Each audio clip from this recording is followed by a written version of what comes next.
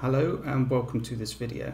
So in this one what I'm going to be showing you is how you can make a HTTP request using the native fetch API with async await syntax.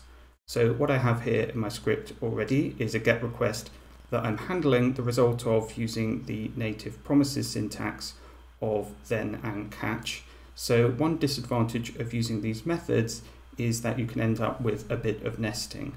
So you can see that already there's some nesting inside the get request function and there would also be nesting inside the get data function if I was handling this result down here, doing something with it. So in this case, what I'd be doing is inserting a function and then handling the data inside this function. So once again, there would be some nesting. So one way to avoid this is to use async await syntax instead. Now I'm assuming that you have some familiarity with using fetch. If you don't, don't worry. I have some videos on that where I go through in detail how you write a fetch request using the promises syntax. So that should be appearing on screen about now. Now, what I'm going to do in this tutorial is to rewrite this request using async await syntax. So I'll start by replicating the get request function.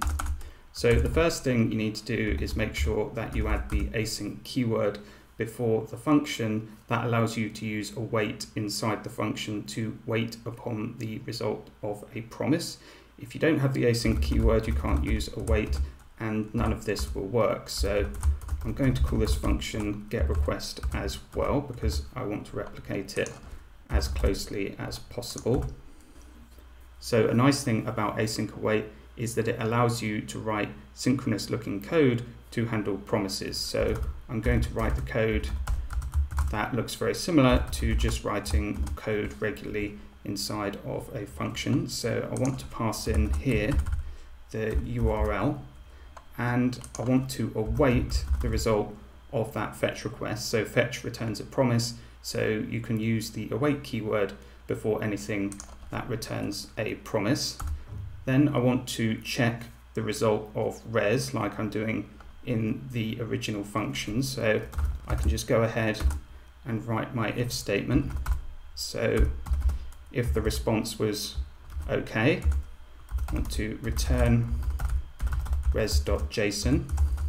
And res.json actually returns a promise. So what I need to do is also use await before it. Okay, so the return value of this function, if the request is successful, is going to be a JavaScript object because I've converted the JSON file to a JavaScript object now using res.json.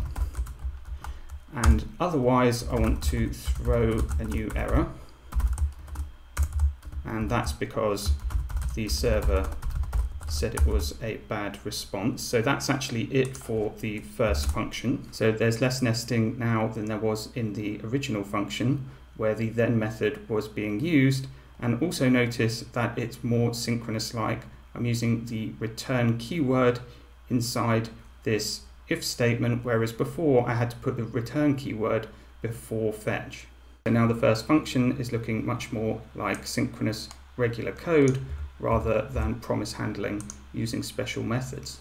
Now I'm going to rewrite the get data function which calls get request and then handles its result. So again I'm going to need to write an asynchronous function and I'll keep the same name. It's going to be get data.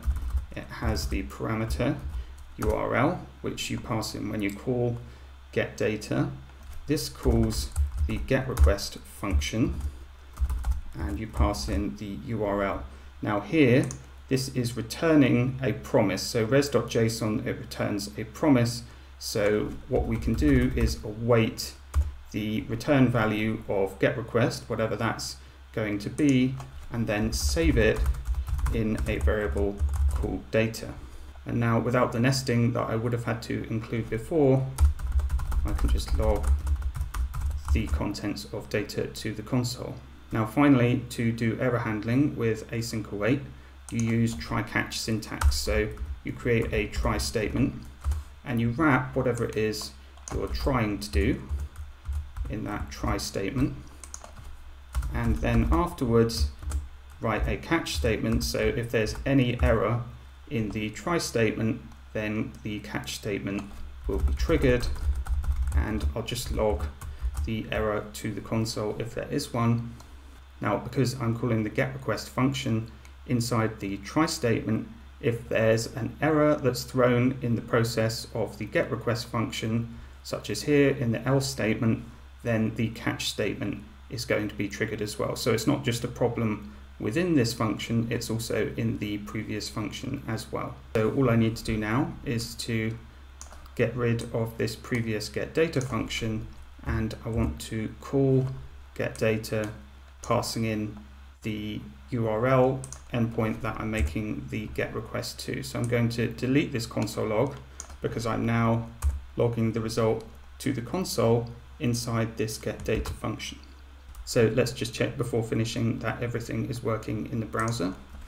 So I'll open the console log and we see index HTML line 23. We're getting this object back with data with some data about some users. This is just test data from a test endpoint. These are not real emails. So this is how you can make a fetch request using async await syntax to make the code more synchronous looking and avoid unnecessary nesting. So I hope you found this tutorial useful. If you did, please consider hitting the like button down below this video. And if you'd like to see more content like this, don't forget to subscribe to the channel.